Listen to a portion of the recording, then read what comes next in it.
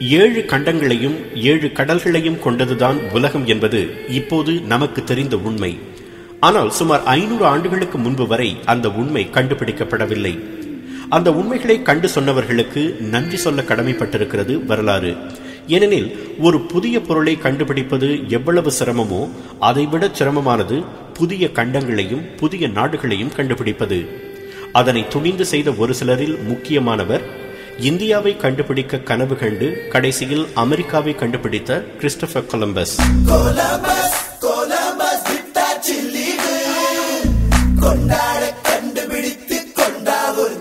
ஆயிரத்து நானூற்று ஐம்பத்தோராம் ஆண்டு இத்தாலியின் ஜெனோவா நகரில் பிறந்தார் கொலம்பஸ். சிறு பிள்ளைகளுக்கு எத்தனையோ கனவுகள் இருக்கும். கொலம்பஸ் கண்ட கனவு என்ன தெரியுமா? கடல்களை கடந்து புதிய தேசங்களை கண்டுபிடிக்க வேண்டும் என்பதுதான். அந்த கனவு தந்த உந்துதலின் பேரில் பதினான்காவது வயதிலேயே மாலுமியானார் கொலம்பஸ். கடல் வழி மார்க்கம் என்பதே இல்லாததால் அந்த காலத்தில் பண்ட மாற்றும் வணிகமும் தரை வழியாகத்தான் நடந்தன. அப்போது ஆசியாவின் வர்த்தக மையமாக மலேசியா இருந்தது என்று வரலாறு கூறுகிறது. இந்தியா சீனா இந்தோனேசியா மற்றும் மத்திய தரைக்கடல் நாடுகளைச் சேர்ந்த அரேபியர்கள் அங்கு கூடுவார்கள். தாங்கள் கொண்டு வந்த பேரிச்சம்பழம் கலை நயமிக்க தரை விரிப்புகள் அரேபிய குதிரைகள் ஆகியவற்றை கொடுத்துவிட்டு அவற்றுக்கு ஈடாக பருத்தி மற்றும் பட்டு ஆடைகள் மிளகு கிராம்பு போன்ற நறுமணப் பொருள்கள் பவளம் கோமேதகம் போன்ற விலையுயர்ந்த கற்கள் போன்றவற்றை வாங்கிக் கொள்வார்கள். அவற்றை ஒட்டகங்களின் முதுகில் ஏற்றிக்கொண்டு தரை மார்க்கமாக சீனா ஐரோப்பாவை கடந்து இத்தாலியின் வெனிஸ் நகருக்கு கொண்டு வந்து விற்பார்கள். ஐரோப்பியர்கள் தங்கம் கொடுத்து அவற்றை வாங்குவார்கள். ஐரோப்பாவில் குறிப்பாக மிளகு கிராம்பு போன்ற நறுமணப் பொருள்களுக்கு அப்போது அதிக கிராக்கி. ஏனெனில் குளிர்காலங்களில் மாமிசத்தை பதப்படுத்தி வைப்பதற்கு அவை உதவின. அந்த நறுமணப் பொருள்கள் அத்தியாவசிய தேவை என்று உணர்ந்த ஐரோப்பியர்களுக்கு அவை இந்தியாவிலிருந்து வருகின்றன என்று தெரியும். ஆனால் இந்தியா எங்கு இருக்கிறது என்பது தெரியாது. எவ்வளவு காலம்தான் அரேபிய இடைத்தரகர்களுக்கு தங்கத்தை கொடுப்பது என்று எண்ணிய அவர்கள் இந்தியாவிற்கு கடல் வழி மார்க்கம் கண்டுபிடித்தால் அந்த பொருள்களை நேரடியாக பெற்றுக்கொள்ளலாம் என்று நினைத்தனர். அப்படி நினைத்தவர்களுள் ஒருவர்தான் கொலம்பஸ். ஆயிரத்து நானூற்று எழுபத்து ஆறில் கொலம்பஸ் கடல் வழியாக ஐஸ்லாந்துக்கும் இங்கிலாந்துக்கும் சென்றார்.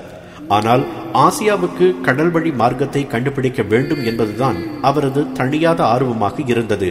தனது முயற்சிக்கு உதவுமாறு அவர் இங்கிலாந்து மற்றும் போர்ச்சுகல் அரசாங்கத்தை கேட்டார். ஆனால் அது வீண் முயற்சி என்று நினைத்ததாலோ என்னவோ அந்த இரு அரசாங்கங்களும் உதவ மறுத்தன. கடைசியில் அவருக்கு கை கொடுத்தவர் ஸ்பெயின் தேசத்தின் ராணி இசபெல்லா. கொலம்பஸுக்கு தேவையான அனைத்து உதவிகளையும் செய்ததோடு அவர் கண்டுபிடிக்கும் எல்லா புதிய நிலங்களுக்கும் அவரையே ஆளுநராக நியமிப்பதாகவும் உறுதி கூறினார் ராணி இசபெல்லா. அது மட்டுமல்ல புதிய தேசங்களிலிருந்து கொலம்பஸ் கொண்டு வரும் சொத்துக்களில் பத்தில் ஒரு பங்கை அவருக்கே கொடுப்பதாகவும் உறுதி அளித்து அனுப்பி வைத்தார். ஆயிரத்து நானூற்று தொன்னூற்றி இரண்டாம் ஆண்டு ஆகஸ்ட் மாதம் மூன்றாம் தேதி தனது நாற்பத்தோராம் வயதில் தனது கனவை நோக்கி புறப்பட்டார் Columbus. Santa Maria Nina Pinta என்ற மூன்று கப்பல்களில் நூறு ஊழியர்கள் அவருடன் பயணித்தனர். சுமார் இரண்டு மாதங்கள் நிலத்தையே காணாமல் கடலில் அலைந்த கொலம்பஸுக்கு அக்டோபர் பன்னிரெண்டாம் தேதி நிலம் கண்ணில் பட்டது. இந்தியாவையே கனவு கண்டு கொண்டிருந்ததால் தான் இந்தியாவை அடைந்து விட்டதாக எண்ணி புலகாகிதம் அடைந்தார் கொலம்பஸ். ஆனால் அவர்கள் நங்கூரமிட்டது இந்தியா அல்ல வட அமெரிக்காவின் பஹாமஸ் தீவு என்பது அவருக்கு அப்போதும் தெரியாது இறந்த போதும் தெரியாது என்பதுதான் விசித்திரமான உண்மை. அதன் பிறகு அவர் மேலும் சில கடல் பயணம் மேற்கொண்டு கெனேரி தீவுகள் பனாமா போன்ற நாடுகளையும் பல சிறிய தீவுகளையும் கண்டுபிடித்தார்.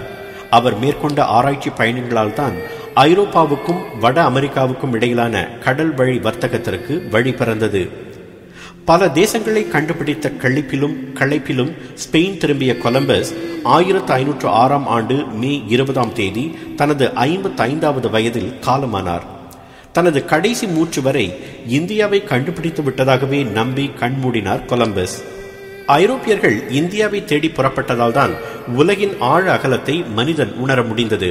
கியூபா பஹாமஸ் மேற்கிந்திய தீவுகள் சிலி பிலிப்பீன்ஸ் முசாம்பிக் பசிபிக் பெருங்கடல் என்று பல புதிய நாடுகளையும் சமுத்திரங்களையும் கடல் வழி தடங்களையும் கண்டுபிடித்தனர். பூமியின் பல பிரதேசங்களை வெளிச்சத்துக்கு கொண்டு வர உதவிய இந்தியா கடைசியாக ஆயிரத்து நானூற்று தொன்னூற்றி எட்டாம் ஆண்டு வாஸ்கோட காமாவால் கண்டுபிடிக்கப்பட்டது. கொலம்பஸ் மூலம் நாம் கற்றுக்கொள்ள வேண்டிய பாடம் கனவு காண தயங்கக்கூடாது என்பதுதான். உலக வரலாற்றின் எந்த பக்கத்தை புரட்டினாலும் ஓர் உண்மை மட்டும் மாறாதிருக்கும். அந்த பக்கங்களை அலங்கரிப்பவர்கள் அனைவருமே ஏதோ ஒரு வகையில் கனவு கண்டவர்கள் என்பதுதான் அந்த உண்மை. கனவு காண துணிந்தவர்களால் தான் சாதித்தும் காட்ட முடிகிறது. உங்கள் கனவு உங்கள் எதிர்காலத்தை நிர்ணயிக்கும்.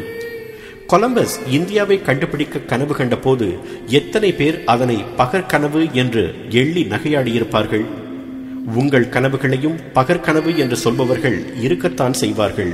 அது இயற்கையின் நியதி உங்களால் மாற்ற முடியாது.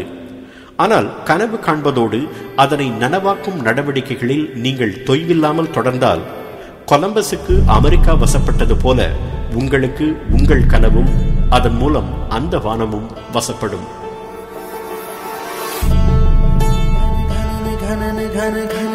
வானம் என்றாரு புழையிட்டு கேட்டாரே பரவசம்.